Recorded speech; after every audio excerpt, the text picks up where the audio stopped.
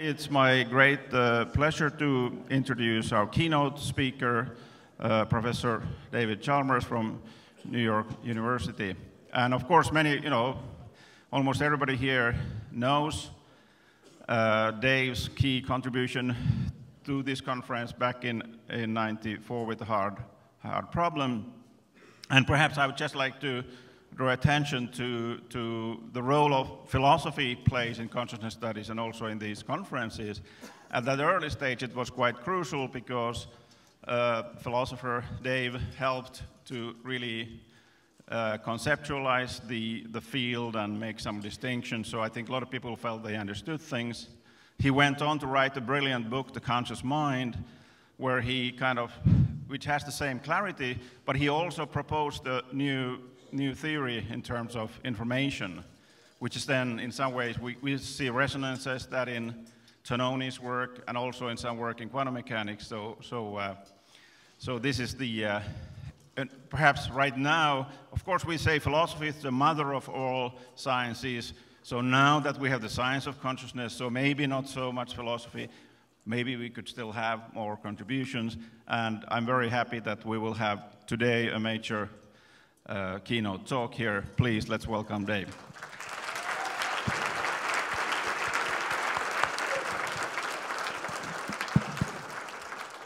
Great. Thanks, Paavo. Thanks, everyone, for, uh, for coming. It's really a great pleasure to be back here at the uh, Tucson Consciousness Conference, what I think is pretty well the, uh, the 13th time. Lucky 13. Um, and thanks a lot to Stu and Abby and all the local organizers for doing a fantastic job in putting this conference on. I'm going to be talking today about what I call the meta problem of consciousness. I've, kind of, I've always liked the idea of meta. I did my uh, PhD with uh, Doug Hofstadter, author of Gödel Escher Bach, who's one of the pioneers of, uh, of going meta. I just found this quote on the, on the web attributed to my favorite philosopher, Rudolf Carnap. Anything you can do, I can do meta. I'm pretty sure Carnap did not say that.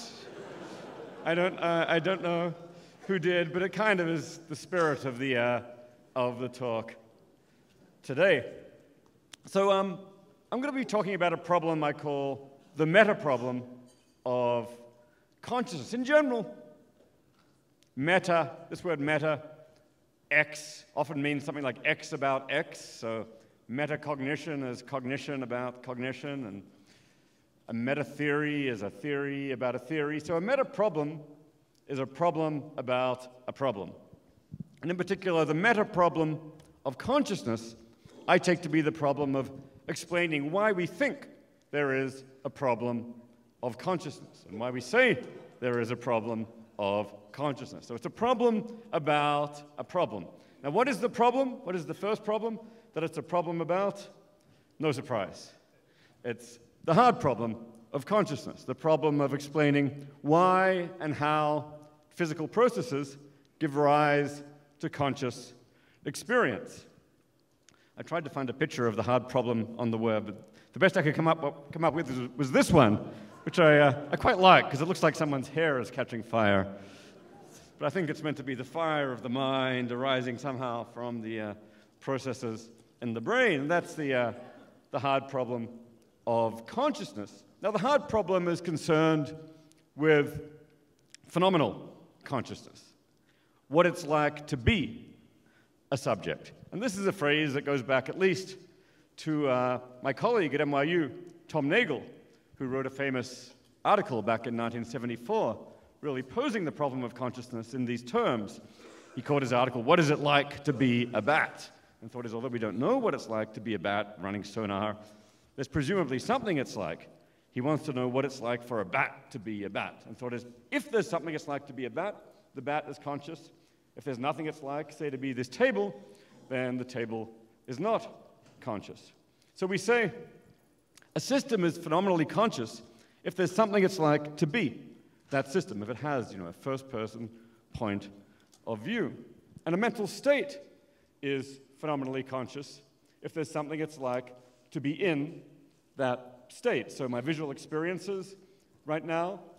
There's something it's like for me to be seeing, so they're conscious. Maybe some, some computations going on deep in my cerebellum involving you know, routing things through the brain. Nothing it's like for me to be in those states, so they're not conscious.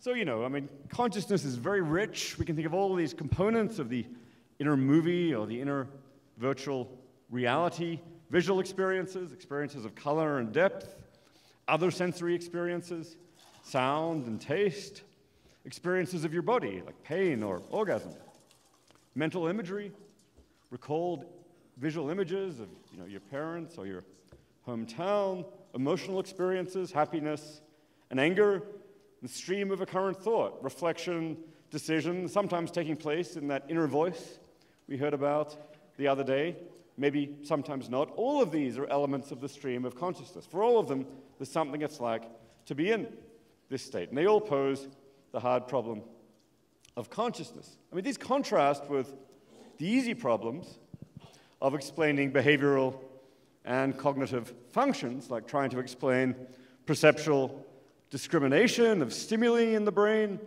integration of information, the way that you know, vision and sound might get brought together in the brain, the way we control behavior, the way we make reports. Those are all behaviors, ultimately, or functions in the, uh, in the interest of behavior. And we pretty well know the paradigm for explaining them. We don't have the explanations yet. In that sense, they're not easy, but we know how, in principle, to explain them. We explain the easy problems by finding a neural or a computational mechanism that performs that relevant function. Find the mechanism, like a neural circuit, which is responsible for the verbal report. You've explained the verbal report. Whereas for the hard problem, explaining behavioral functions seems to leave open a further question. Why does all that processing, all that discriminating and integrating and controlling and reporting, why does all that give rise to conscious experience? Why doesn't all that processing go on in the dark without consciousness? And why aren't we robots or zombies who do all this stuff without being conscious at all? Looks to many people as if there's an explanatory gap here between physical processes and subjective experiences, roughly because the problem of consciousness is not about these objective functions, but about subjective experience. So uh, here's another attempt at the best I could do to find, okay, here's the brain, and here's this really cool stuff going on in your inner movie in consciousness. How do you get from one to the other? So, you know, over the years, there have been a lot of different approaches to the hard problem. I should say, I don't have a single solution to the hard problem that I think is the right solution. The last few years, I've been really interested in just focusing on different constructive avenues for solving the hard problem. So I've been looking at a lot of different ideas, including all the ones listed here on this slide. And in this talk, I'll end up going in a somewhat different direction. But okay, one class of approaches, the, the class I'm most sympathetic to in general, is to hold that consciousness is somehow fundamental and irreducible to physical, to standard physical processes. And this tends to lead one either to dualism, consciousness separate from the brain, panpsychism, consciousness present at the very bottom level of the natural order, maybe some element of consciousness in every particle, or idealism, where the whole universe is constituted by consciousness. Now, we're going to hear more about at least the latter two this afternoon. Um, I've actually been, all of these have their problems. Dualism has the problem of interaction, panpsychism has the combination problem. How do those little bits of consciousness add up to our consciousness? Idealism has the problem of accommodating the external world, which seems to explain all the regularities in consciousness. I think there are interesting things to say about all those. I've been working on some of them, but today I'm going to look in a different direction. Um, another class of approaches to the hard problem, with which I'm somewhat less sympathetic overall, is to hold that consciousness is reducible, typically to some kind of physical or computational process. So functionalism thinks consciousness might ultimately be, say, some computational process. Biological materialism, maybe consciousness is some neurobiological process. Quantum materialism of the kind which I think um, Stuart and Rogers' view quite often sounds like. It says consciousness is identical to some quantum process, like quantum collapses in microtubules. All of these somehow reduce consciousness to a physical process. I think all of these views are plagued by the problem of the explanatory gap. So I don't go in that direction myself. But that said, this talk is going to be exploring a, a proposal which is at least somewhat more in the spirit of reductionism than other views I've been, uh, I've been looking at in the past. And it kind of starts from a certain potential insight about a connection between the easy problems of consciousness and the hard problem. There's one behavioral function, at least, that's very closely related to the hard problem. And that's the fact that we make verbal reports about our conscious experience. People often call these phenomenal reports, where here phenomenal is always basically a shorthand word for conscious subjective experience. So I say, here's a behavioral fact about me. I say, I'm conscious. Or maybe I say, I'm feeling pain right now. I mean, I say things like, hey, well, consciousness is very puzzling. There's a hard problem of consciousness. Distressingly often, since I'm a philosopher who's paid to, uh, to write about these things. But these are all verbal reports that I make, that people at these conferences are making all the time. Those are behavioral facts. In principle, explaining those falls under the rubric of the easy problems. Even more specifically, to home in a bit further, is what we might call problem reports. Reports expressing our sense that consciousness poses a hard problem. There's a hard problem of consciousness, I might say. Explaining behavior doesn't explain consciousness. I said something like that just a few minutes ago. Consciousness seems non physical, kind of spooky, mysterious. I don't know how we could explain it. And people, you know, take a, maybe this audience is selected for thinking and saying things like that quite often. So I hope these problem reports are not foreign to you. Again, these are facts of behavior. So the meta problem of consciousness is roughly the problem of explaining those problem reports, those bits of behavior. In principle, that's a puzzle about behavior. So it's an easy problem and ought to be open to standard functional explanation. There ought to be some kind of computational or structural or some kind of explanation of that behavior, if there is in general for behavior. So the meta problem is strictly speaking an easy problem, but it's one that's closely tied to the hard problem. Prima facie, it looks more tractable than the hard problem. So it gives us a kind of a workable research project. At the same time, I think solving it really ought to shed very significant light on the hard problem. Maybe it won't solve it or dissolve it, but it ought to at least shed light on it. This, isn't, this is an instance of what philosophers sometimes call genealogical analysis, which is shedding light on a domain by looking at its genealogy or its history, you know, analyzing how our judgments about that domain are formed. Maybe the most familiar example of this would be thinking about religion. One approach to religion is just to think about God directly and what kind of properties does God have. But another approach, maybe more sociological or psychological, is to think why do we believe in God? What are the roots of our beliefs in God? Maybe someone tells an evolutionary story about why belief in God enhanced selection or why we have a deep psychological need for comfort, for comfort, for protection from the darkness, for social grouping, and religion facilitates that. So that's a very familiar line of explanation, in people who think about religion, and often leads to debunking our beliefs about those domains. People say we can explain our belief in God without God, so we don't need the hypothesis of God. People have done something similar with morality and other domains. So, one thing, one way to connect the meta problem and the hard problem is to see the meta problem as a debunking project, somehow explaining away our belief in consciousness without posing consciousness, and then saying, hey, well, just as maybe after we've explained our beliefs in God, we don't really need this to believe in this independent phenomenon of God, the actual reality. Maybe you can explain our beliefs in consciousness without consciousness. So that line, which is only one line here, leads one in the direction which people, philosophers have recently um, taken to calling illusionism the view that consciousness, or at least the problem of consciousness, is an illusion.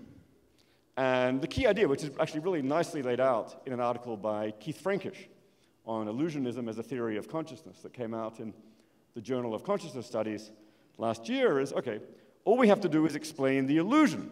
why it is that we have these beliefs in these special properties of consciousness, explain the illusion, and we dissolve the, the problem.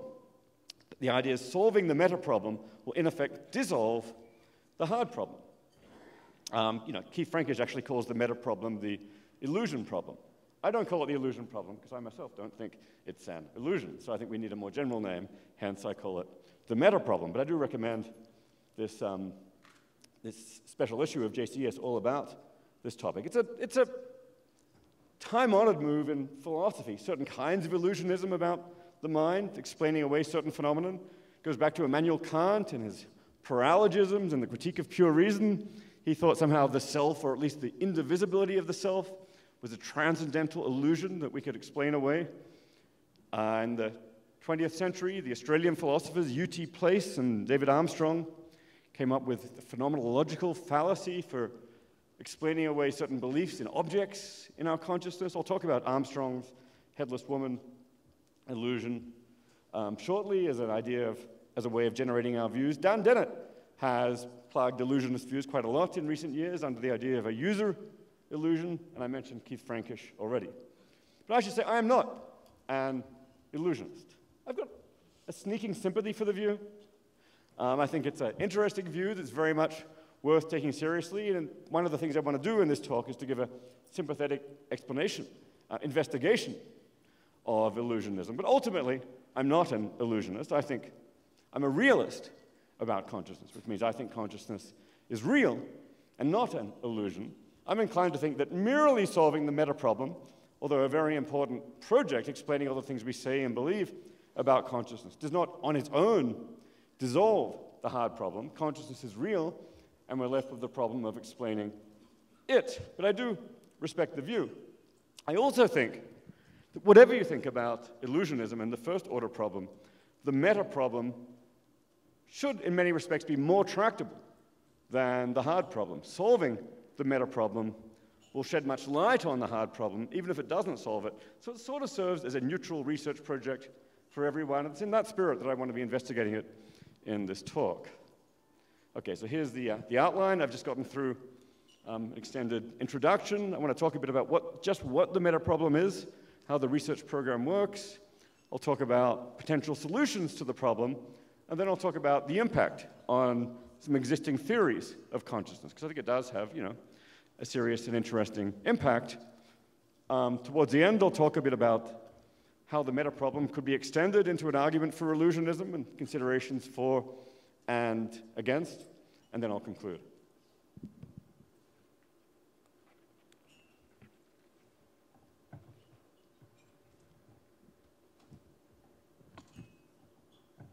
Okay, so the meta problem research program. So, one thing I like about this meta problem is that it opens up a tractable empirical research pro program for everyone. If you're a reductionist or a non reductionist, you're still faced with the meta problem. If you're an illusionist or not an illusionist, you're still faced with the meta problem, and you ought to have something to say about it. I think you know, one thing we can try to do is try to solve it in a relatively neutral way and then think about the philosophical and scientific consequences. Okay, so this raises the question what is the meta problem exactly? I mean, I sort of characterize it roughly as explaining the problem reports, the things we say about the problem of consciousness. You might think physically explaining it, is that quite right? I've got a slightly better restatement of it, I think, which I'll go over all the pieces of. It's actually the problem of topic neutrally explaining what I'll call the problem intuitions, or else explaining why this is impossible. Uh, maybe the most straightforward of these is the last part, or explain why this is impossible. This is actually just meant as a rubric to make the meta problem a problem for absolutely everyone. Some people might think there's no solution to the meta problem. For whatever reason, you can't give an explanation of what we say about consciousness that meets the relevant constraints, say in topic neutral or physical or whatever terms, then I say, great. Then the meta problem for you is to explain why this is impossible, why, in fact, you can't explain these bits of behavior that way. Um, the other bits are topic neutrality and intuitions. Very roughly, a topic neutral explanation of problem intuitions means an explanation that doesn't mention consciousness. So we'll explain, it looks like for any bits of behavior, we can explain them ultimately in terms of, say, interaction among neurons or computational processes, or anyway, some kind of interaction among components. The paradigm might be a computational or algorithmic explanation of our judgments, but this view needn't be committed to computation or algorithms. If you've got, say, uh, Roger's view that there's going to be new non-computational dynamics in physics, then we'll explain these behaviors in terms of that kind of dynamics. It'll still ultimately be mathematical. We'll give an explanation of it that doesn't directly mention consciousness. We can just think of this as all some kind of structural explanation, interaction between components and some structural terms, ultimately producing this behavior. You might think this sounds a bit like epiphenomenalism, the view that consciousness doesn't do anything in the brain. I mean, of course, one, nat- one very natural thing to think is that consciousness explains the things we say about consciousness. I don't want to be denying that. All I want to say is that you can give explanations of the things we say that don't mention consciousness in these purely structural terms. So you could be even a interactionist dualist who thinks consciousness is really special and non-physical. Maybe consciousness is like that yellow dot in the, uh, in the graph, and it collapses the wave function and affects all those physical dots in some special way. Nonetheless, there may well be a structural explanation of how it does its thing. It collapses the wave function according to certain dynamics. We can lay out the probabilities, we can lay out the math, and give some kind of structural explanation of all that hap- how all that happens without mentioning consciousness. Now then, the dualist will want to say, as a matter of fact, that yellow node, where it's all happening, that's consciousness. So um, then we'll say, um, actually consciousness is doing the work in realizing the structure. Likewise, a panpsychist might say, okay, well, you've got all this, this structural explanation of physical dynamics and behavior, and we can lay out a mathematical explanation of that in structural terms, but ultimately all of those fundamental nodes are little bits of consciousness. A panpsychist can say that. That's not epiphenomenalism. Nonetheless, we can give these structural explanations, and then some people, some people may want to say consciousness actually is what plays the underlying structural role in this network. But still, I'm just interested in looking at the structural, dynamic, mathematical explanations here. Now, what do I mean by the intuitions? The problem intuitions are going to be roughly dispositions or tendencies to make problem judgments and problem reports. I could just call the problem, explain the reports, but I think there's something a bit deeper in all of us, which is a tendency or a disposition to make those reports, to, you know, to feel the, uh, the problem, and that's really what we want to explain. Um, there's a question about whether these intuitions need to be the result of inference or not. I think for our purposes, they don't need to be, but maybe I'll skip over that point.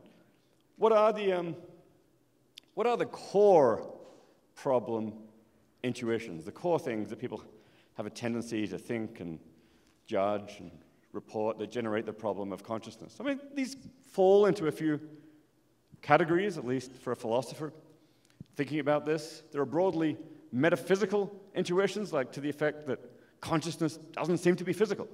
It seems to be non physical, an intuition directly about the nature of consciousness. There are explanatory intuitions. Consciousness is hard to explain. There are intuitions about knowledge of consciousness. About the most famous is probably that thought experiment you know, Mary in the black and white room, who's only ever seen black and white and knows all the physical facts, doesn't know what it's like to see red, sees red for the first time. She learns something new about the world, about subjective experience. There are what philosophers call modal intuitions about conceivability or possibility. Maybe that, for example, zombies are conceivable, physical duplicates of us that behave just like us, but with no consciousness. I mean, it seems when I talk to you, I think and I hope that you're conscious, but it's at least conceivable that, uh, that some of you or all of you are not conscious. It's not something I can rule out with absolute certainty. That's the conceivability of zombies. These, of course, are the philosophical zombies. Someone that seems like a normal human, doesn't have conscious experience, sense experience or qualia, have all the physical states, none of the mental states. Now, I don't actually think there are zombies among us, but the idea seems to make sense, and that's one of the symptoms of one of the intuitions that can generate the hard problem of consciousness, one among many. So there are some related intuitions, maybe aren't quite as close to the core. Intuitions about whether, for example, machines or robots can be conscious. Intuitions about how much consciousness matters morally it seems to be like the source of very much meaning and value for us in our lives. Intuitions about the self. Our self seems to persist through time in a special way. Intuitions about the presentation of special qualities, but here I'll focus mostly on the, um, the first class, especially the first two, metaphysical and explanatory. So in principle, there's an interdisciplinary research program here studying these intuitions. Many fields are relevant. That's one thing I like about this meta-problem program. This is a very interdisciplinary field. This is an interdisciplinary program that many areas can work on that still will feed directly into the core philosophical problem. So there's experimental philosophy and psychology, where people can study intuitions about consciousness in human beings. There compu there's computational modeling from the perspective of AI and computational psychology. There's neurobiological modeling of processes that lead to intuitions and report. And indeed, there's philosophical analysis. I mean, it is an empirical question how widely these intuitions are shared. You know, does everybody have the intuition that there's a hard problem? Does everyone have the intuition that consciousness is non physical? Certainly, many people deny these claims. I mean, typically, in my experience, the majority of people seem to have them, um, and even the ones who deny them are often denying them for, you know, concede that they had the intuition initially and then have some theoretical reasoning that might overcome it. But still, it is an empirical question how widely these intuitions are shared. Are they just matter of our culture, for example? They shared cross culturally? They shared historically? My sense is they're widely shared, but we don't really have that much current data on this. I'd like to get a lot more data about just on these intuitions. There is quite a lot of current empirical work on intuitions about the mind, especially in children, but also in adults. Um, you know, Paul Bloom has a very nice book called Descartes' Baby, where he argues that you know, children are little intuitive dualists, little Cartesians who believe that they are non-physical or the mind is non-physical. Still, for the most part, it's not so much about the hard problem intuitions about consciousness. There's work on belief, the concept of belief. There's work on how the self persists through time and you know, whether we could have an afterlife or reincarnate or whatever. There's work on distribution of consciousness in robots. Not that much to date on the core problem intuitions, but there is one very nice article that just came out last year by Sarah Gottlieb and Tania Lombrozo called Can Science Explain the Human Mind? where they studied people's judgments about when various mental phenomena are hard to explain. And they said, you know, when, they, when they're conscious, when they're experienced, when they involve privileged access somehow and introspection, people seem to have much stronger intuitions that these are hard things for science to explain. So that's the beginning of a research program. There's room for much more. Okay, so next I want to talk about some potential solutions.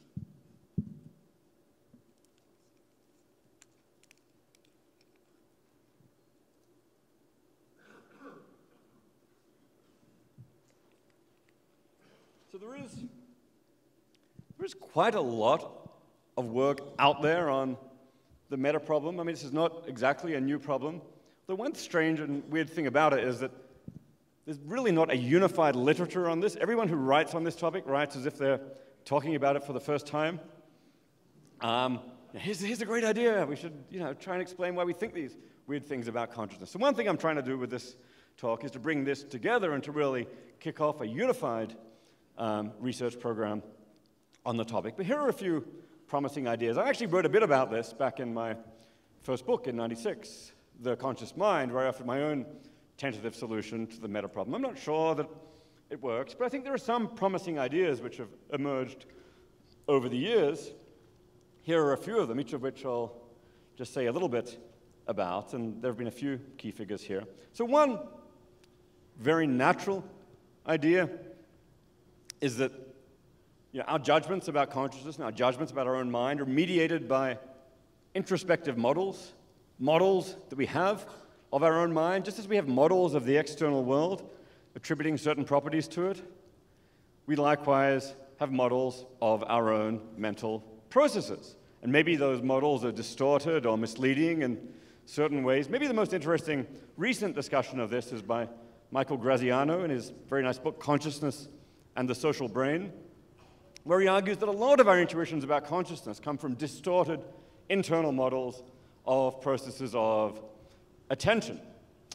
He doesn't say very much about how you get something like hard problem intuitions about this. He does say once or twice that he thinks these models might, in principle, explain our sense there's a problem, of consciousness? I mean, I think this is, again, a very promising initial idea, but every, the devil is going to be in the details. Okay, what is it? How do our introspective models generate our sense that there's a problem of consciousness? I should say Graziano is an illusionist, but you don't need to be an illusionist to go this way, even if you're a non illusionist, a realist about consciousness. Presumably, we nevertheless have certain kinds of introspective models of ourselves. How they work is something very interesting to know. Um, Tom Nagel, who I mentioned, Brian Loar, and other philosophers have argued for a key role for our concepts in thinking about consciousness. We have special introspective concepts of our mental states that are independent of physical concepts in certain ways, psychologically. And somehow these concepts will explain our problem reports, because the way we think about the mind from the inside comes apart from the way we think about the external world. Again, I think that's a very promising idea, but now, there are some limitations. One limitation is, you know, the problem of consciousness is generated much more strongly, say, by experience than by, say, belief. I believe that Paris is in France. Okay, that's interesting. It doesn't seem to pose the hard problem in quite the same way. Maybe there's some tinge of a current experience there, but in general, my having beliefs about the world doesn't seem to generate the hard problem. But we still have concepts of belief and introspective models. Question why don't they generate the same sense of an explanatory gap? I think that means that we need to add more to the story that just brings in models and concepts to explain why conscious experience really distinctively generates the explanatory gap. Um, there's an idea which is out there, maybe most strongly associated with David Armstrong, that says something like this We don't see that consciousness is physical, so we see it as non physical, because somehow it's introspectively opaque. You can't see the neurons, you can't see the physical mechanisms of consciousness when you, when you introspect. Armstrong makes an analogy with um, the so called headless woman illusion, which is very common in, uh, in circuses, or used to be very common in circuses. So here's the uh, so called headless woman illusion. Um, there's, a, there's a woman sitting there, and somehow it looks as if she doesn't have a head. In fact, what's going on is there's actually a curtain uh, covering her head. You don't, and Armstrong's thinking, well, you don't see her head, so you infer that she has no head somehow, and you have the illusion that there's no head. I think this is kind of an interesting idea, but I mean, when you think about it for a second, though, it's like, surely this is not enough. I can, okay, I can cover up a few people's heads. I don't suddenly see you as having no head. There's got to be very special conditions that obtain of the headless woman. Maybe the curtain has to be positioned just right in such a way that it positively suggests headlessness to you. And I think, likewise, with, uh, with consciousness, it's like it's not enough to say we don't see that consciousness is physical. Many things we don't see are physical. Maybe the computer processes I'm interacting with inside my computer. I've got no idea what's going on there, but I don't suddenly think, wow, explanatory gap. So we need some special reasons, again, that we, that we make the inference, say, to non physicality and specialness in the case of consciousness. An idea that I've got a lot of sympathy with is primitive quality attribution. So there's this idea about color experience, especially, that it attribute, attributes primitive properties to objects when in fact they have really complex um, physical properties. And you know, here's a picture of, here's a fanciful picture of color perception. The world looks to us as if the apple has that simple, beautiful, primitive redness, and the sun has that primitive yellowness, and you know, colors are these simple, qualitative properties of the world. And then science comes along and tells us, no, it's way more complicated than that. There's just these complicated physical processes of radiation and reflection. Okay, but we still see the world as having these primitive qualities. Why? Presumably because it's useful. I kind of I wrote a paper once where I suggested, you know, maybe this is how it was in the Garden of Eden. In the Garden of Eden, things uh, really had those primitive special qualities of redness and yellowness. And then we underwent a fall from Eden, so now we're in this non Edenic physical world, but it's still useful to model our world as having these Edenic qualities in the case of color, special qualities. So, Derk Pereboom, in his work on this, has suggested maybe we do something like this with the mind. Um, the mind involves attributing special qualities to itself for this useful model. I sort of think this doesn't quite get to the heart of the matter, because what really generates the problem of consciousness isn't just the qualities in the world that we perceive or even in the mind, but our awareness of those qualities. But I think this is getting closer to the heart of the matter. A connected idea that I like is what I call primitive relation attribution. Introspective experience attributes a special primitive relation of awareness to qualities. It gives us a useful model of the internal world. So now look at this picture again with the, uh, the apple and the sun, but now focus on the arrow. There's this sense that we have some special relation of direct awareness to the qualities that we experience, to the qualities that we perceive. Maybe in our internal models model that as an especially primitive one. Maybe it really is a primitive one, maybe it's not, but nonetheless, that's how it's modeled in our models. And that primitive relation, our sense that our arrow is primitive, somehow generates our sense of a problem. Again, I think this can't be the whole story because of belief, but, um, but maybe we're building up elements of a, of a more complete story. Central to this also is maybe the sense that we actually have some kind of concrete acquaintance with the red apple, and that might help to distinguish us say, the case of perception from the case of belief. In the case of the apple, we just seem to have the redness presented to us as if we're directly acquainted with it. We don't have anything like that for believing Paris is in France. Um, so if we could somehow explain how our internal models give us the sense of being acquainted with concrete qualities, then maybe we'd get somewhere. And okay, that does call for the question, how will this um, explain, how do we get this sense of acquaintance? So this is all just elements of a picture. I mean, this is a research program that's as yet very much incomplete. There are a number of other ideas out there, which I don't have time to talk about. Associative introjection from Avenarius and Jackson, Place's idea of the phenomenal fallacy, Dennett's user illusion, the use mention fallacy, bringing in evolutionary explanations. But just to summarize some of the bits so far of the elements of the, pos the positive story that I kind of like, here's a possible summary, at least of the beginnings of a story about the meta problem. By the way, one thing I like about this, if you're an illusionist, you can read this in an illusionist tone of voice as how our misleading models give us a false picture of what's going on in our head. If you're a realist, you can read this in a realist tone of voice about how, how correct mental models of consciousness give us a correct picture of what's going on in our head. So, you know, read it either way, but here's a neutral version we have introspective models deploying introspective concepts of our internal states that are largely independent of our physical concepts. These concepts are introspectively opaque, so they don't reveal the underlying mechanisms. Our perceptual models perceptually attribute primitive perceptual qualities to the world. Our introspective models attribute primitive mental relations to these qualities. These models produce a sense of acquaintance both with those primitive qualities and with our primitive awareness of those qualities. Again, if you're a realist, you can say, okay, that's just what introspection of consciousness is like.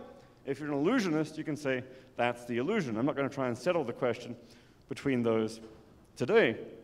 In principle, we can actually test, I think, explanations of this kind with psychological studies and computational models. See, last year, the first computational model of this kind of thing that I know of was developed by uh, Luke Muehlhauser and Buck Shlegeris, who wrote a simple computational model, like a little theorem prover, to test some ideas from what I wrote about this in 96, and Francois Kammerer wrote about this more recently. And they got a little software agent that has some axioms and actually generates a few, you know, inferences to the effect that, yeah, well, my consciousness seems to be different from my physical computational processes, and I can imagine those being absent, and the conscious qualities could be, uh, could be swapped and so on. So just the beginnings. They, I mean, they, they admit this is a very, very simple, simple model. But if we could build up more complex models that could actually generate meta-problem-like behavior, then we might be getting somewhere. This, of course, does raise the question, a question about machine consciousness. Just say we had a machine that issued the same sort of problem reports as us, caused by similar mechanisms. Is it conscious? I mean, just say we start developing, building AIs, and they say, well, I know in principle I'm just a set of silicon circuits, but I feel like so much more. then is that then going to be conscious? Well, I don't know. It might just be like Sophia, who's uh, been, sorry, I don't mean to diss Sophia. She's speaking this afternoon. Um, it might just be like this, uh, uh, tomorrow afternoon, yeah. Um, it might be just like this machine that's been studying up for the Turing test and let me learn all those human things to say, like, oh, yeah, there's a hard problem. Will you admit me into the charm circle of moral agents now? But, uh, or at least give me more, more energy for lunch. Um, no, it better not be like that. It better be machine issuing, machines issuing the same sort of problem reports as us caused by similar mechanisms. Will that be conscious? A few people have put forward the idea that we could actually develop a Turing test for machine consciousness this way. I'm not going to solve that question today, but I'll leave it with you. Okay, I want to say something about impact on theories of consciousness, because I think a lot of people here are especially interested in theories of consciousness, and one of the ways in which this field is built up since over the last 25 years or so is the development of a lot of interesting theories of consciousness, you know, whether it's uh, integrated information theory or OR or global workspace theory or whatever. I think it's natural to hold that a solution to the meta problem and a solution to the hard problem will be closely connected. So here's a thesis. Whatever explains, our theory says some mechanism is, explains consciousness or is the basis of consciousness. Whatever explains consciousness, the experience, should also explain our judgments about consciousness, the things we say, the things we think about consciousness. And the, the intuitive rationale for that was be very strange if the basis for consciousness played no role in judgments about consciousness. Two totally separate processes, one generating consciousness, one generating the judgments. I mean, maybe there'll be some extra elements in the judgments, because not every conscious state leads to a report, but at the very least, the basis of consciousness should be there at the core. So here's a test for theories of consciousness. If a theory of consciousness says that mechanism M is the basis of consciousness, whether it's you know, wave function collapses or integrated information or the global workspace or whatever, then M should also explain or be part of the explanation of our judgments about consciousness, our reports, and the thing we say. So if it's the basis of consciousness, should also explain the reports. Okay, so how's this going to work in some specific cases. Well, okay, since Roger just spoke and uh, Stu is speaking this afternoon, I thought I'd start with uh, what we'll call quantum materialism, uh, the Hameroff Penrose OR view, on which some form of objective collapse is the basis of consciousness. You know, maybe when space-time geometry gets a bit too superposed, these collapses come about, and there's some mechanism in microtubules. Okay, very interesting theory. Question, how does objective collapse contribute to explaining what we say about consciousness? Is there something about the dynamics of objective collapse that might kind of hook into the judgments, the behaviors we say about consciousness? Prima facie, I've never seen a story like that. Why should collapsing wave functions tend to generate these judgments? Okay, here's the picture. Here are some um, wave functions collapsing, or actually, I really, I really like Roger's talk a moment ago.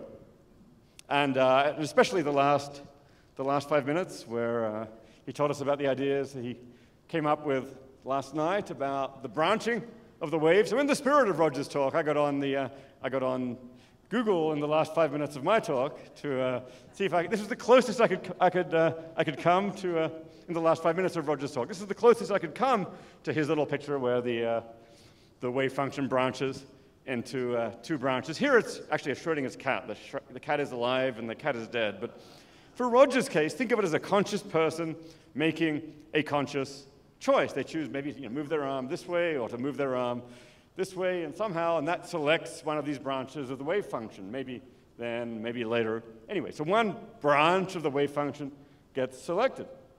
Well, that to me raises the question well, what role does that collapse and that selection play in causing reports. So just say consciousness selects one of these branches of the wave function. Well, here's a question. Does the subject actually say, I am conscious in both branches? You know, in this branch of the wave function, there's a branch where the subject says, yeah, I'm conscious, maybe of my arm going that way. And the other branch, there's a subject saying, yeah, I'm conscious of my arm going that way. And then the wave function picks out one of the branches. I guess I'm inclined to think if yes, if in both branches the subject's already kind of saying, I am, I am conscious, then consciousness is not exactly causing the reports. There's a story about the reports, why those reports are there, which is somehow prior to, uh, to wave function collapse. All collapse does is determinately make one of the reports actual rather than the other, but the general phenomenon of reporting consciousness will be there either way. On the other hand, if not, maybe if the collapse somehow creates the report, it just doesn't choose from among reports, then we need some amazing special new dynamics associated with Orch OR to explain how the reports get there. At least that's at least a part of the theory that I've never seen. Now I know Roger and Stu are invested in there being new dynamics. Maybe that could be developed. But I think that's at least a very strong challenge for the theory. Or just to be equal opportunistic, I should say that I'm not totally unsympathetic with quantum theories of consciousness. I've been developing a version of, I've at least been looking at versions of quantum dualism myself that I presented in Helsinki a few years ago, and Kelvin McQueen, my co-author, presented here, on which non-physical consciousness might cause objective collapse. Exactly the same question arises there. How does objective collapse explain what we say about consciousness if the wave function is just choosing between two branches where people are making these reports already, then there's an independent explanation of the reports, and that's weird. So that's a challenge, actually, for me, insofar as I'm invested in these theories. Likewise, integrated information theory, Tononi, on which integrated information is the basis of consciousness. I think you know, most of you know Tononi's phi. It's a network property of when the connections between the whole give it causal powers more than the sum of its parts. He has this value phi, which is high in those cases, higher phi, higher consciousness. So integrated information is the basis of consciousness. Question, how does integrated information explain these reports that we make? Why does it even tend us to make those reports. I think there's a real worry for IIT, which is phi. It's very strongly dissociated from these report processes. You know, Tononi allows there can be simulations with many of the same structural interactions and will actually generate precisely the same reports in a computer simulation of a parallel system. Tononi says that system has zero phi, even though it makes the same reports. Likewise, you can have high phi with no tendency to report at all. So I at least worry that there's no plausible story about how phi, the basis of consciousness, could go along with the basis of these reports. But again, it's a challenge for the theory. Global workspace theory, on which global workspace is the basis of consciousness. You know, we have a global workspace in our brain, which is transmitting bits of information to other bits of the brain, and that's the basis of consciousness. Okay, well, how does the global workspace explain the reports? I mean, in this case, you can see the beginnings of a story, what's in the global workspace is at least available for, typically for reporting.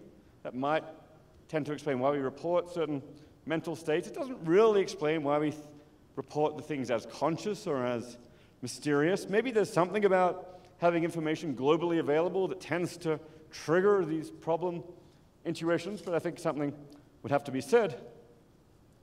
Um, the same goes for versions of first order representationalism. Maybe I'll bring that up by a contrast with higher order thought theory uh, associated with David Rosenthal and others, on which higher order thoughts are the basis of consciousness. Thoughts about thoughts, roughly, or thoughts about first order states. So, you know, you, you have a perceptual state, you have a thought about it, then Rosenthal says that makes it conscious. Compare that to the first order view, where the first order state on its own is conscious. If you get a higher order representation, that's just a bonus. That's not what makes it conscious. Higher order thought says a thought about a state makes it conscious. Question How do those explain problem reports? Again, you might think, okay, well, this is at least promising. Higher order thoughts are tied to introspective models.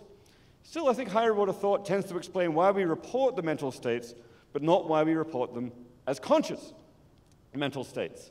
Um, Alvin Goldman has made that point, or why we report them as puzzling. So at the very least, we need a special sort of higher order thoughts, and I think new ideas are necessary. What about panpsychism? Every fundamental physical entity is conscious. Human consciousness is a combination. Well, now the challenge is how does a combination of fundamental consciousness as explain the reports? A solution to the combination problem needs to solve the meta problem too. So here's panpsychism, some principle of combination. No one's solved this problem yet. Maybe Hedda will solve it this afternoon. Um, um, but maybe some story needs to be told about how that links into reports. An idea that I like is what I call quasi-acquaintance theories, tied to the idea of the special Edenic qualities before.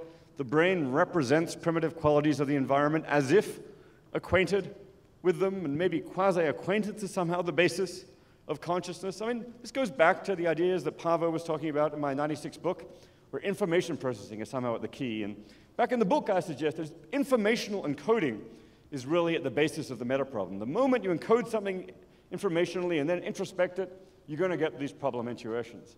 I now think that's a bit too simple, but maybe this idea of quasi acquaintance, representing things in an especially primitive way, as if acquainted with them, could be the, both the ba a basis for consciousness and the basis for the report. So those are just some, some possible theories and ideas. Of course, the other theory, which I only have time to mention briefly, is illusionism. Consciousness doesn't exist, we just think it does. Illusionism kind of, the problem is easier for the illusionists because they don't have to solve the hard problem. They just have to dissolve it by solving the meta problem. A solution to the meta problem dissolves the hard problem, but they do at least play very nicely into this, um, into this kind of connection. They do connect the meta problem and the hard problem very tightly, which is one thing I like about it. I'm not going to have time to say much about illusionism, but let me just say a couple of things about it. I mean, there's a couple of different forms. Strong illusionism says phenomenal consciousness doesn't exist.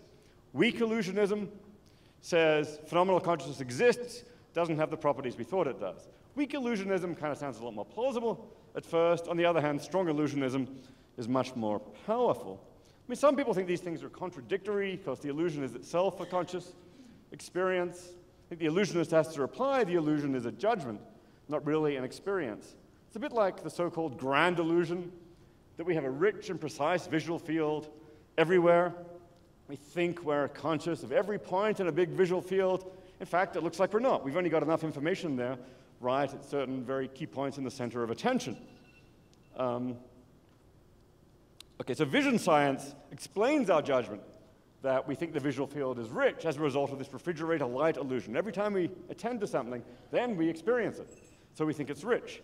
So the grand illusion view says we have fewer experiences than we think. We don't have an experience of every element of this world just of something in the center of attention. So illusionism just takes that view and extends it to all of experience. None of these experiences really exist. It's a, uh, I don't think it's contradictory, I just think it's somehow implausible. If I had time, I'd go over the way of turning the meta problem into a debunking argument for illusionism, saying that arguing from the fact there's a consciousness independent of our beliefs to the claim that our beliefs are not justified and go over some responses. I think the best response is the one I call realizationism, where there's a structural explanation of our beliefs in consciousness that doesn't mention consciousness, but consciousness plays the key causal role in grounding that structure. An interactionist could say that, a panpsychist, maybe even a materialist. Um, on the other hand, for arguments against illusionism, well, here's my quick, quickest arguments against illusionism. Number one is to dissolve the hard problem, illusionism has to be strong. It's got to really deny experiences. Merely saying experiences aren't quite how we think won't cut it. You've got to be a strong illusionist. But um, I think strong illusionism is false, so illusionism can't dissolve the hard problem. The key thing there is the second claim. Uh, strong illusionism is false. So here's my extremely sophisticated argument against strong illusionism. Some of you may know G.E. Moore's proof of the external world. Here's a hand, here's another hand, therefore the external world exists. Well, people sometimes feel pain, is my premise. Um, hey, I just felt some pain. If strong, illusion is, strong illusionism is true, no one has ever felt pain. Therefore, strong illusionism is false. Now, okay, this is a rather flat footed argument. I know some illusionists are going to come back and say, okay, well, we don't strictly speaking experience or feel the pain, we undergo the pain. Um, I think the, the strong illusionist has got to, should bite the bullet. Their claim is one that their very theory predicts we should find very implausible. We're in the grip of strong introspective models that make us almost certain that we do things like feeling pain. They're actually denying that. So I think they should just, you know, front up. You might have seen the exchange between Dan Dennett and Galen Strawson in the New York Review of Books recently, where Galen says, Dennett denies consciousness. And Dennett goes, No, I don't. I just think that's going all wishy washy on your, your illusionism. If you're going to be an illusionist, be out and proud and say, you know, no one really has these conscious experiences. We just think we do because we're stuck into these damn introspective models. I think it's a much more powerful view. Okay, so I'm out of time. Let me conclude. We kind of have a balance here between two different forms of absurdity. I mentioned Galen Strawson already. Illusionism is totally absurd. In the 20th century, the most remarkable episode in the whole history of human thought, some thinkers deny the existence of something we know with certainty to exist consciousness. Okay, you might think that's absurd. On the other hand, on the other side, I think some people take the view that in light of the meta problem, taking consciousness as real or primitive is somehow absurd. Here's Eliezer Yudkowsky doing it about epiphenomenalism, but it generalizes.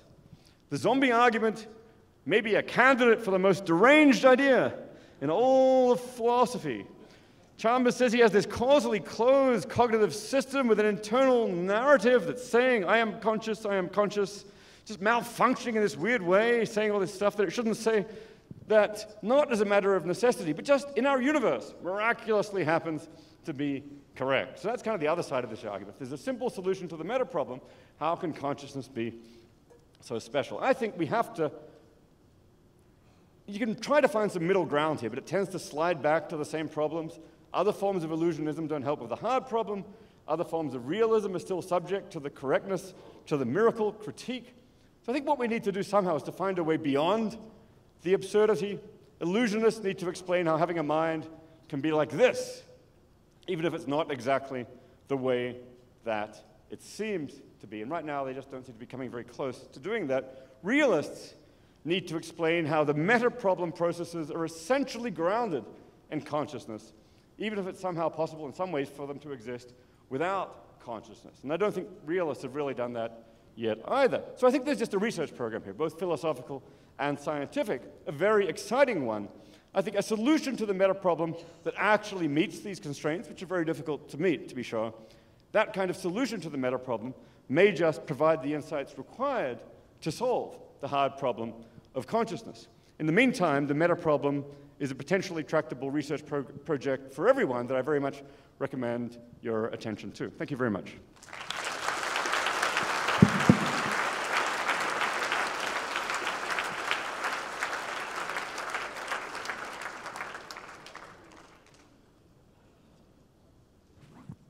Okay, so we have uh, 20 minutes for discussion.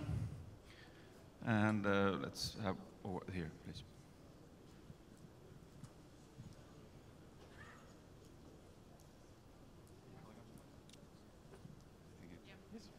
Um, my question is, um, I'm trying to ask about the basis. So don't you think that the hard problem comes from your first distinction? So if you separate mind and matter and say that there is no connection, it will be hard problem. If I separate? Yeah, I mean, if you made the first separation, you can't solve this problem never. But if, if you said that it's there is a, like it's it's a hard problem is uh, just happened because of the definition, nothing else. If you stop to separate these two substances, they will be connected. I see. So we didn't separate brain and mind in the first place, we wouldn't have a problem of explaining the mind yeah. in terms of the brain. It's an interesting point. And look, um, the hard problem actually becomes harder once you've got a materialist view of the world, where it seems that the physical world has all this autonomy. It's only in light of a broadly materialist view of the world that we have the problem. But I think the fact is, many people think we've got scientific reason to believe in physics and the physical world. We have introspective reason to believe in consciousness. I haven't yet separated anything. I've just said no, here you, are two you data. already separated. We have to know how they fit together. When you said material world, you already made a separation. It's like Descartes there are made brains, a separation. There are brains. This is there already is separation. I haven't yet said they're two things. Maybe they're one thing. But if someone can show me how they're one thing, then we're done. But that's, to do that, you have to solve the hard problem. When you said that there is a brain, you mean that there is something except brain, right? So you mean two. I don't know. When I say the universe exists, I'm not saying there's something outside the universe. So. Yeah. If who who is saying that? Hmm. That's a tough one. Okay. Let's take the next one from here. Thank you very much. Very interesting and clear. Just a question. I'm a biologist, so uh, what about uh, uh, evolutionary pressure in, in all this? So what is the reasons yeah. why we developed this uh, meta problem and hard problem? Yeah, no, that's a really interesting and important question that I think, look, a big part of the story has to be evolutionary, I think. Um, and especially if you're sympathetic to illusionism. Nick Humphrey has written a, a, nice book. I can't remember, maybe it's Seeing Red or the new one, Soul Dust, where he, uh, he develops an evolutionary approach to these questions. He thinks that, you know, maybe, actually part of his view is evolutionarily, thinking we're conscious is just more fun. It makes the universe seem more alive. I mean, I would put it by saying being conscious makes everything more alive and more interesting and more wonderful, but Humphrey, yeah. Yeah, exactly. So, so Humphrey thinks that's the adaptive function of either consciousness or the illusion of consciousness. It makes the universe seem more interesting. Another view is you might think we need something to distinguish ourselves, the living conscious beings, members of you know, our tribe, so to speak, from other bits of the world which are not conscious, and having these special models of consciousness will be adaptive too. Graziano just thinks, I think it's simple. Just as having models of, turns out you don't need to represent those big, complicated color reflectances in the environment to model color. To tell the difference, you just need to be able to tell the difference between, you know, tomatoes and leaves and so on. Just represent them as primitive. Likewise for introspection. We need simple models of our mind. Those are adaptive, even if misleading. So maybe those are interesting stories to begin to tell. Okay, and one from this side. Thank you very much for your talk. Um, I have a question. Why does the meta problem have to explain problem reports rather than the opposite, which we might call the no problem reports, because to me, mm. denying that there is a hard problem is far more puzzling as a verbal behavior than the problem reports themselves. Uh, and if we change, if we create this alternative version of the meta problem, I believe that this has significant implications for the kind of light this could potentially, or an answer to this meta problem could shed on the hard problem. So how do we justify choosing uh, one side of the debate as the explanandum for the meta problem? Yeah, I think actually I think you're right, and I think that really part of the meta problem should be viewed as explaining the range of judgments that we find about the hard problem. My own view is that most people at least have a tendency to find the problem, but it seems that some people don't. Some people deny it. An adequate explanation to better explain why that happens. One view is, you know, they had the intuitions, but they were overrun by some theory, this desire for materialism to be correct, or a very strong desire for simplicity in the theories. But, you know, there are psychoanalytic stories you can tell. There are, there are other stories. I think in the, in the written, there is, by the way, a written version of this talk on the, on the web with the same title. And in there I say, yeah, we should absolutely see that as part of the problem. I don't think that will dissolve the problem to do that. But of course, if you believe the hard problem is real, then there is a, a bit of a problem for you, which is explaining why some people get it wrong. Uh, thank you. Also, there was, there's one thing, I think it's in the talk in general, it is in there, but on one slide it wasn't exactly clear because you said that any solution uh, to the hard problem will also be a solution to the meta problem. But this doesn't mean in the reverse that if we have a solution to the meta problem, this will also automatically be a, it could also be a different solution. I, look, I don't think either solving one will solve the other. I just think the solutions are probably going to have to be linked, and that whatever is the basis of the hard problem, it better be an element of the story about the meta problem. Likewise, the solution to the meta problem will shed light on the hard problem, may not solve it. So people who believe Sorry, I think we need to, to move on because we've got lots of people. Hi, um, the philosopher Bernardo Kastrup, he seems to think that we're dissociated alters of a singular universal consciousness, which is also like a Hindu concept, and that in altered states of consciousness, especially like psychedelics, uh, it, they make the boundaries um, which separate our individual conscious experience more porous. How closely does that dovetail with your own philosophies, especially regarding psychedelics? So, um, so what was it? Psychedelics break down the boundaries of consciousness. I mean, it, I, I mostly know his work on idealism, where he argues, you know, the whole universe is conscious, and our consciousness is at the center of the universe, and typically it's limited, but psychedelics break it down and open it up. I've not yet seen a psychedelic so powerful that it you know, turns your mind into the whole, uh, into the whole universe, but maybe that's just lack of, uh, lack of, uh, maybe la lack of experience. Maybe 5-MeO DMT. okay. Yeah. Let's have here uh, Dr. Schooler. Yeah. Hi, hi, David. I really enjoyed that talk. I'm a big fan of meta problems, and uh, this is certainly a good one.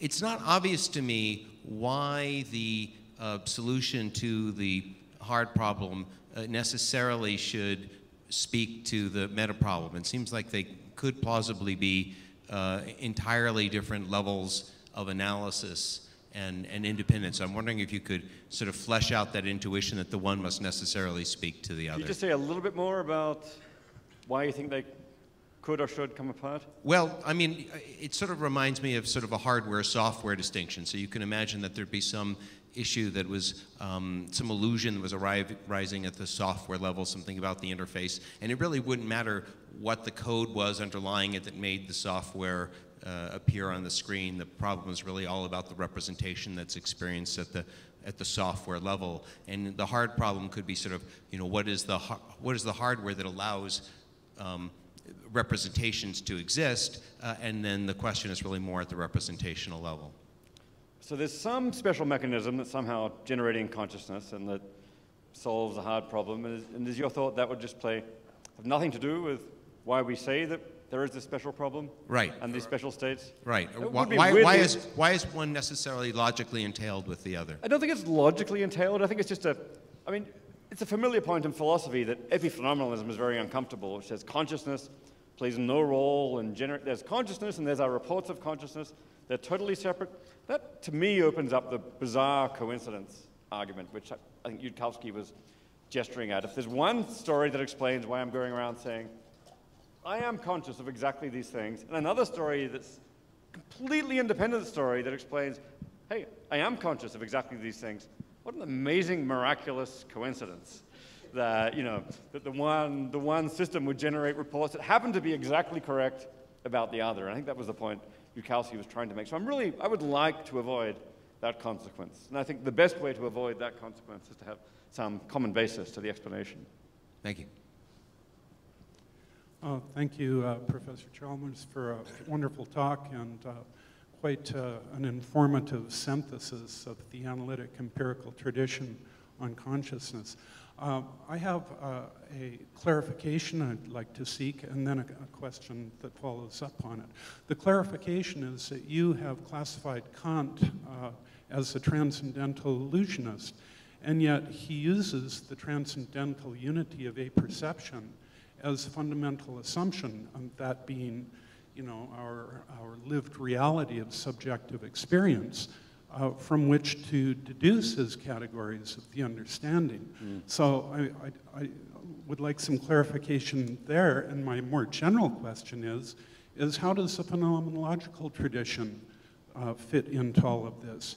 Is it not there because it's predominantly descriptive and you're seeking more of explanatory approach in your research program? Thank you. Yeah, my answer to both questions is going to be I don't really know enough to say, especially in the case of Kant, my, uh, my expertise runs out uh, very fast. I guess, I think the, tra the transcendental illusion was meant to be one of indivisibility somehow of the, yeah, of, the, the of the soul, yeah. mm -hmm. the soul or the self, and that that was meant to be, the visibility was meant to be somehow consistent with unity, but my expertise on Kant has already run out. Uh, on the phenomenologist, I know a little bit more about the phenomenolo phenomenologist than Kant. I've asked a few people about what you can, uh, what you can find in the phenomenologist. Heidegger has a few elements of uh, illusionism about what, how you know, Husserl and others were getting it wrong in their particular attitude towards consciousness. Does Husserl have a story about, about why we actually have, I mean, mostly they don't start from anything like a materialist viewpoint. They just basically take the mind as uh, as basic, and they don't think we've got to solve these problems about relating it to the physical world, you would nonetheless think that, yeah, there may well be a story in the phenomenology. If so, I'd love to hear about it. Thank you. So when I make a report of conscious experience, I'm often looking for some kind of sympathy. So when I say I feel pain, I hope people will feel sorry for me. Mm.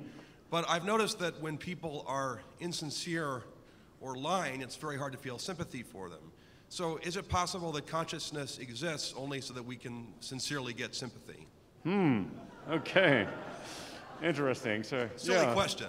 So yeah, I kind of we already we already had the computer saying, "Hey, believe I'm conscious so that you treat me well." And then we had the evolutionary explanation over here, whereas maybe we have, we have to attribute these properties to ourselves in order to get other people to treat us well, better than they treat you know the meat that they eat or whatever, because we have this property of consciousness. So I think it, look, I think it's if you're going to be telling an evolutionary story about the adaptive function, then attributing spe these special properties to yourself does play a very central role in the way we treat each other. We respect conscious beings. Um, you know, sympathy is just one aspect of that, of that respect. So maybe mechanisms for generating, for generating mutual, mutual respect and mutual sympathy are part of the story. Can I, uh, can I ask a quick question here as in between that let us assume that conscious experiences are real. And then, then it seems to be a fact that, uh, that conscious experiences gives rise to very different reports. Like, you know, Dennett, in, according to my hypothesis, Dennett is conscious, but he says it's not. So this seems like some kind of case of underdetermination mm. uh, between the facts you know, the ontological facts of consciousness and the verbal report. Yeah. So have you thought about that, that in the, yeah. make of it? Now, Dennett does admit that he has the intuitions of a gap and, you know, what he calls the zombic hunch, that there's a, you know, we can conceive of zombies without the consciousness. He says he has the intuition. He says, he said, I have the intuition, I just don't credit it. He doesn't take it seriously, and maybe part of the reason is that he's got an overall theoretical view of the world where you respect science, number one, you respect the third person point of view, number one, you don't give the same weight to first person introspection. You don't give the same weight to intuition. But then I think we can kind of factor out a common factor, which is present both in Dennett and in me and in you, which is that basic intuition. And then a separate, distinct factor, which is your theoretical worldview, which enters into that. If that was the way it was in most cases, I think that would provide a very nice balancing of the, uh, of the, uh, the, the, similarities and the differences. When it would to get more complicated, with people who report, I've never once in my life had that intuition, I've got these special properties of consciousness, or there's a hard problem. I just have no idea what you're talking about. And once or twice I've met people like this, and you know, maybe, maybe there are zombies among us, or maybe something, there's something else going on in those cases. But I think these are the kind of things, if we had a research program, we could get at these questions. So let's go over here. I, I, haven't yet convinced myself that I really understand the ubiquitous phrase, there's something it is like to be, hmm. dot, dot, dot. I have problems with the word like and be. Something? why can't we say there's something it's like to be a cloud? And my, my particular concern is who is having this experience or what? That seems to be left unaddressed. Yeah, I mean, it's just a, my view is it's just a phrase. It's a useful phrase for a lot of people in calling their attention to the phenomenon, but it should not be taken too seriously as a bit of theory. It's just a way of homing in on the target. But yeah, at the moment, there's something it's like to be, then it looks like you're suddenly committed to a self. Some I people, accept, Buddhists. I don't accept that. I mean, I, I think you have to analyze it a little more closely to see where there might be a fallacy in the, uh, this underlying assumption. There is now a, actually a little literature and philosophy on, and linguistics of people trying to analyze that phrase, find its underlying logical form, and find its commitments. And, uh, you know, and as you might expect, people disagree on the correct way to analyze it, and there are different analyses that go along with different theories, but I think it's a very useful question. So we have five more minutes, so let's have short questions, short answers, please. Thank you for the delightful talk. Uh, I'm wondering where you stand on the question of qualia formalism, the notion of, of qualia formalism. Formalism. The notion that for any conscious experience there exists a mathematical object isomorphic to the phenomenology. Uh, this is, for example, how IIT approaches uh, modeling. This is for? Uh, it's how IIT approaches mm -hmm. modeling experience. Yep. And do you think this is a true binary choice? And are you specifically, do you see yourself as a qualia formalist or not? Yeah, I mean, I'm an ex-mathematician, and I tend to think everything can be mathematically described.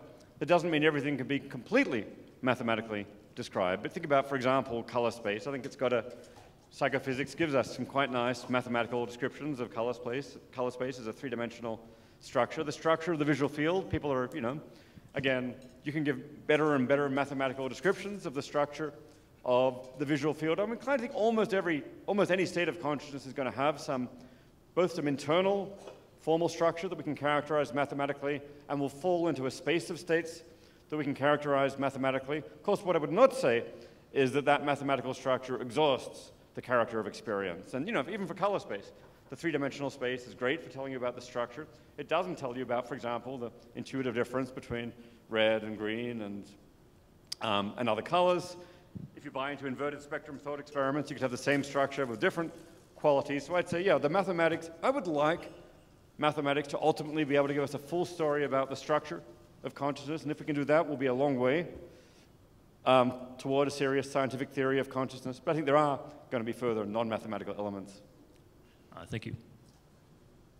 Um, thanks so much for the talk. Um, I'd just like to know um, what do you think a proof could be for uh, the statement? Uh, how do we prove an individual is conscious or is a zombie? He or she is a zombie. That statement. Do you think, You know, do you think it could be proved? I don't think we're ever going to get formal proof. I mean, my best proof in the first person case is that Moorean proof, you know. I just felt pain, so I'm conscious. I don't have anything like that for you. The best we can do, I think, is to find really systematic uh, studies of the correlates, the physical correlates of consciousness in my own case and in other cases. I think, look, for the most part, we build up the science of consciousness by making the assumption that other people are conscious and that when someone says they're conscious, we believe them, unless there's some reason to believe otherwise. I think it's likewise, look, there's no proof of the external world. I think we get science going by saying when we perceive something in the external world, it's probably there unless there's some good reason to believe otherwise. That way, we build up science, we get a coherent theory, and maybe it gives some kind of validation to the original assumption. Something like that is what we do with consciousness. But I think in both cases, proof is probably too high a standard. Thank you so much.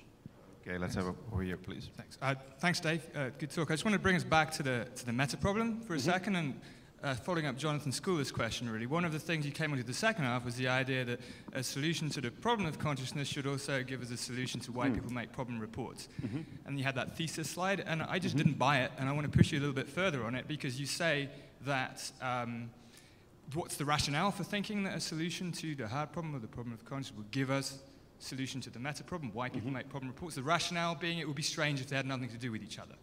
But that seems to be wh- no argument for sufficiency at all. That, of course, it can have something to do with it, but it doesn't mean that it would be sufficient to provide explanation. Not sure it would necessarily be the hardware-software distinction, but we have theories of the physical world which are one level of the description, and we don't try to explain, for instance, verbal utterances in terms of quantum mechanics or Newtonian dynamics. It's just the wrong level of description. So if it's not sufficient, why should a solution to So the sufficient here is sufficient to solve the meta problem? Yeah, sufficient Yeah. to solve the meta problem. Yeah, no, I didn't, mean, I didn't mean to say that a solution to the hard problem will on its own be sufficient to solve the meta problem. In fact, I think I said that would be implausible because there's got to be something more involved in actually making the reports than, than is merely present in the conscious state. What I said is that the, the basis of consciousness, whatever is part of the solution to the hard problem, has got to at least be part of the solution to the meta problem. Maybe intuitively the causal basis.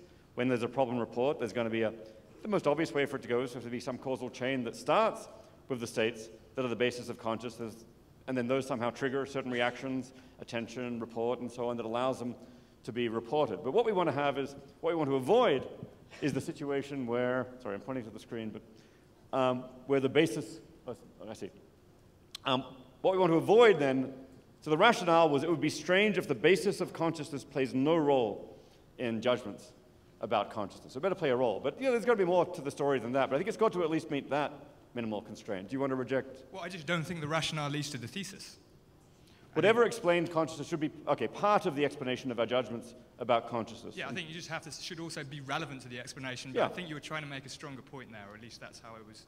Okay, I think in the, when I actually applied it to theories, I'd be, I'd be satisfied with something at that level. But um, yeah, the devil will be in the details. Okay, now we're already running a little bit over time, so very short questions and short answers so we can Okay, one sentence get some questions, one sentence answers. it should be possible to make an exact replica, facsimile of the brain, except all the circuits are unplugged. And, and also a way to measure some kind of activity in there. You start plugging things in, and, and when the output says, I'm conscious, or I see red, wouldn't that be sort of like, that's the configuration that works? Yeah, look, my own view is that a simulation of the brain will be conscious, and part of my reason for thinking that is it will probably sh- share the same kind of structural causal story that generates our reports of consciousness. I very much want to think that the basis of consciousness and the basis of the report should go together. That's one reason. f so, yeah, if you simulate my brain, I think it'll be conscious. Will it be me? That's another question. So, yeah, over here, please. Hey, very quickly, um, do we have to have one explanation for all our intuitions about consciousness, or might we have a bunch of different explanations? I mean, there could be a bunch of completely different things going on, and maybe you can read Dan Dennett as saying this. There's just 52 different explanations of how the magician performs the trick. I would be amazed if that's the case, because there seems to be this unity and the systematicity among the phenomena that generate very, very similar problems across, say, visual experience and auditory and cognitive. So I would be very surprised, but it is an empirical question. So, over there. Hi.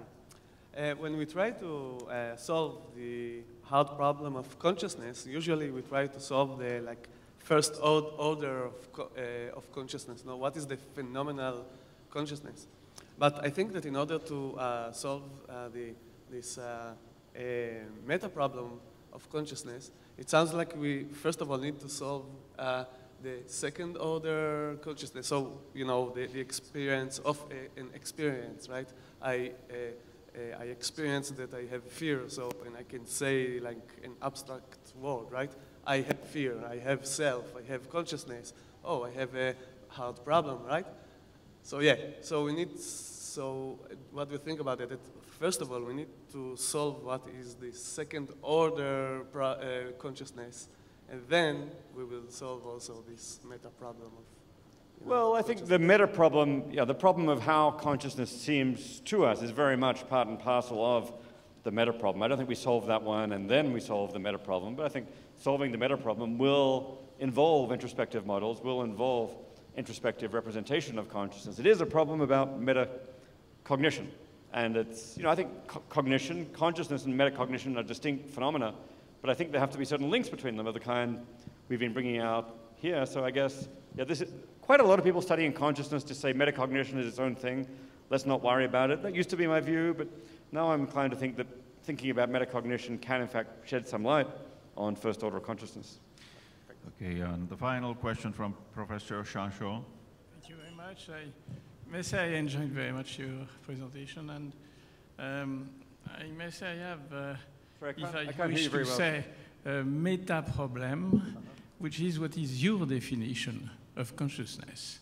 Since what is your definition of consciousness? Because you are starting uh, with a word uh, which, to my opinion, has a very complex content. And uh, I think, uh, for instance, Georges Canguilhem uh, discussed the issue of uh, life, what is life, and there is not a simple definition of life. And my view is that there is not a simple definition of consciousness, and uh, that in fact, uh, uh, another way, another approach, another strategy uh, would be to start to analyze the different levels of conscious processing which are involved in what you globally call consciousness, and perhaps some of the meta problems uh, which uh, uh, you discuss may, in fact, find solution, other will be solved later. So it's another way, if I may say, to explore consciousness. And um, this is in particular important when you look at the development of consciousness. Uh, is the newborn child having the same consciousness as the one you have? Good question. And uh, what about when some philosopher called about the consciousness of the mouse, of the elephant, and humans, and put that in the same kind of uh, denomination? Are they right or not?